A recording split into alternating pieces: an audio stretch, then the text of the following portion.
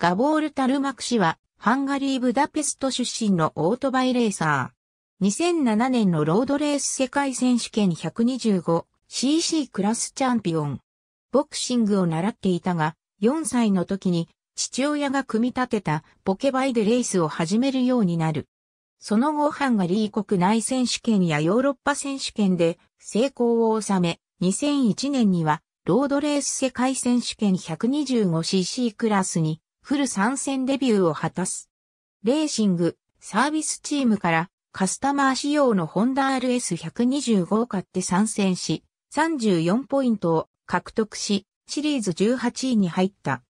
翌2002年はイタルジェットチームに移籍したが、マシンのパフォーマンスに問題があり低迷。シーズン途中でペブアダックザック戦チームに移籍し、再びホンダを狩ることになった。この再移籍は成功し、ブラジル GP ではこの時点での自身最高位の4位を獲得することができた。2003年は前年度チャンピオンチームのイグゾアルトサイクル、アプリリアチームと契約を結ぶが、ドイツ人チームメイトのスティーブ・イエンクナーと同等の待遇を受けることができず、期待外れの成績に終わった。タルマク氏は、チームのナンバー1ライダーとして扱われることを望み、翌2004年シーズンはマラグーティのワークスチームに移籍した。しかしマシンに競争力はなく、最高位はポルトガル GP での7位に終わった。それでもタルマク氏の走りは多くのチームの注目を集め、翌シーズンのオファーを受けることになった。2005年は飛躍の年となった。レッドブル KTM チームに移籍し、第5戦イタリア GP では、ファイナルラップに、チームメイトのミカカリオ、アプリリアのエクトル・ファウベルを下して初優勝を遂げる。その後もダッチ TT、カタール GP と勝利を重ねた。しかし後者での勝利は大きな問題となる。シーズン残り4レースとなり、チームメイトのカリオには、トーマス・ルティを逆転し、チャンピオンを獲得する可能性が大きく残っていた。そこでタルマク氏には、カリオがより多くのポイントを獲得できるようにとチームオーダーが出された。レースではカリオがリード2位にタルマク氏がつけており、このままの順位で終わるはずだったが、ゴール間際でタルマク氏がカリオをオーバーテイクしてしまう。レース後の記者会見でタルマク氏は、あと一周残っていると思っていたと弁解した。結局、カリオはこのレースで失ったちょうど5ポイント差で、チャンピオンを逃すことになってしまった。KTM は翌シーズン、250cc チームへのステップアップをタルマク氏に持ちかけていたが、この騒動が原因でそれも破談になってしまった。タルマク氏はシリーズランキング3位でシーズンを終えた。前年度まで3年連続でホンダを狩るライダーがチャンピオンを獲得していることから、2006年シーズン、タルマク氏はヒューマンゲストホンダチームのオファーを受け、ファクトリー仕様の RS125R を狩ることにした。しかし新シーズンに向けてホンダは全く開発を進めず、アプリリア勢が大きなアドバンテージを得ることになった。アルバロ・バウティスタが圧倒的な強さでチャンピオンを獲得し、タルマク氏は準地元と言える第12戦チェコ GP で3位を獲得するのが精一杯だった。2007年イギリス GP シーズンの概要2006年シーズン終盤にタルマク氏はホルヘ・マルチネス率いるアスパーチームから翌年のオファーを受ける。同チームは2007年シーズンにライダーズランキング1.2位を独占する最強チームだった。タルマク氏には片落ちのアプリリア RSW125 が与えられた。一方スペイン人チームメイトのエクトル・ファウベル、セルフィオ・ガデアは最新型の RSA125 を使用した。RSA は RSW より少しだけ早かったが、当初は信頼性に問題を抱えており、このことがダルマク氏に有利に働いた。ポラリスワールドチームのマティア・パシーニも RSA を使用しており、序盤はエンジントラブルで多くのレースでリタイアすることになった。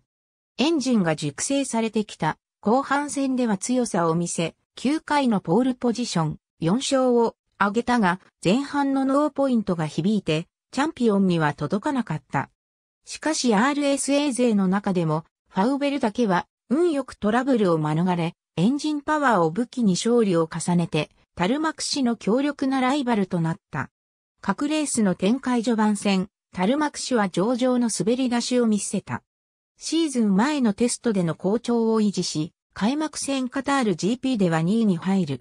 第2戦スペイン GP では、デルビのルーカス・ペセックをフィニッシュライン寸前でかわして、シーズン初優勝を果たす。第3戦トルコ GP では、ラファエル・デロサと接触して5位に終わったが、ライバルたちはより下位に沈んだため、チャンピオンが争いでのリードを広げることができた。タルマク氏の GP100 戦目となった第4戦中国 GP ではマシンにマイナートラブルを抱えて4位に終わった。このレースではペセックが自身初優勝を遂げ、タルマク氏はチャンピオン争いトップの座を奪われることになった。続く第5戦、第6戦でも4位に終わる。第7戦、カタルニア GP ではライバルのファウベルとペセックが絡んでクラッシュし、2位に入ったタルマク氏は13ポイント差で、チャンピオン争いのトップに返り咲くことになった。しかし、第8戦イギリス GP では、エンジントラブルでリタイアに終わり、第9戦ダッチ TT では、ファウベルに続く3位となった。第10戦ドイツ GP で挙げたシーズン2勝目は、ポールポジションからスタートし、ファステストラップを記録。後続に大きな差をつけるこの年最も完璧な勝利だった。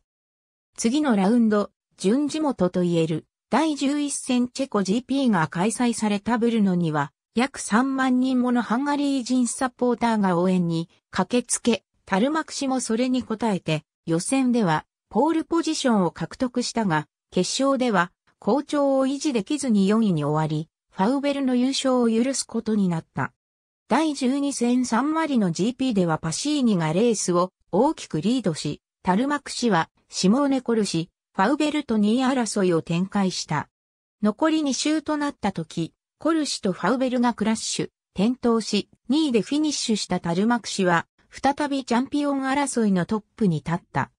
第13戦ポルトガル GP では、ファウベルがファイナルラップの最終コーナー後にスリップストリームから抜け出て、タルマクシを逆転し、勝利を収めた。ウェットレースとなった第14戦日本 GP では、パシーニが優勝、タルマクシが2位、ファウベルが3位に入った。第15戦オーストラリア GP では、新しいサスペンションのセッティングに苦しみ、この年完走した中では最下位となる8位に終わった。一方、ファウベルはこのレースを3位で終え、タルマク氏とのチャンピオン争いではわずか1ポイント差にまで詰め寄った。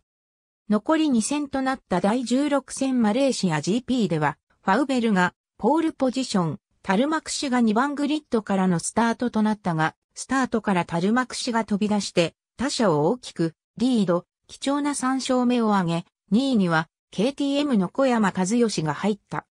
3位に終わったファウベルは、タルマク氏に10ポイント差をつけられて、最終戦を迎えることになった。最終戦バレンシア GP、タルマク氏がポールポジションを獲得した。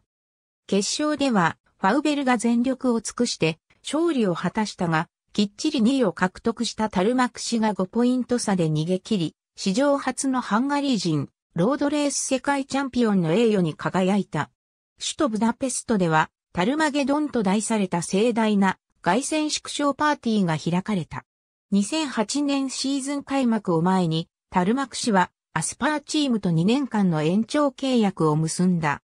1年目は 125cc クラスで、ワークスマシンの RSA125 を狩る権利を獲得し、2年目は無条件にアスパーの 250cc クラスのチームにステップアップすることが約束された。タイトル防衛を目指した2008年シーズンだったが、シーズン序盤にマシンの信頼性に問題を抱えて、チャンピオン争いで遅れを取る。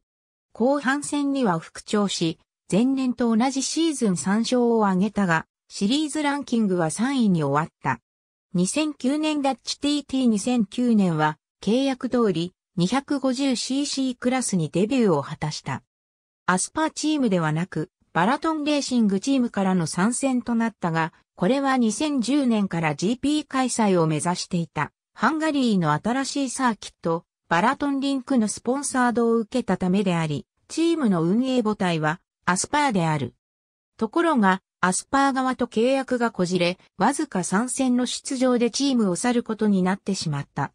一時的にシートを失ったタルマク氏だったが、第6戦、カタルニア GP からチームスコットより、モート GP クラスにデビューした。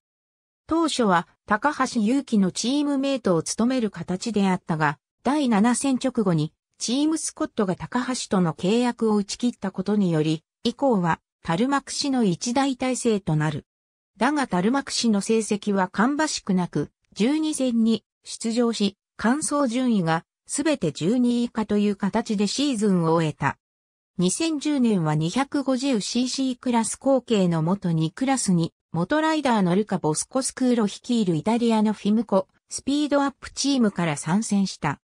チームメイトのアンドレア・イアンノーネほど目立った活躍はできなかったが、全17戦中15戦で、完走、13戦でポイントを獲得する安定した走りを見せ、シリーズランキング6位を記録した。第13戦アラゴン GP で3位表彰台に立ったのがベストリザルト、第17戦ポルトガル GP ではポールポジションを獲得した。2011年シーズン、タルマク氏はスペインのプロモレーシングが運営するジャックジョーンズバイアントニオ・バンデラスに移籍し、元にに継続参戦する予定であったが、チームは冠スポンサーのジャックジョーンズを失ったことにより撤退してしまった。ありがとうございます。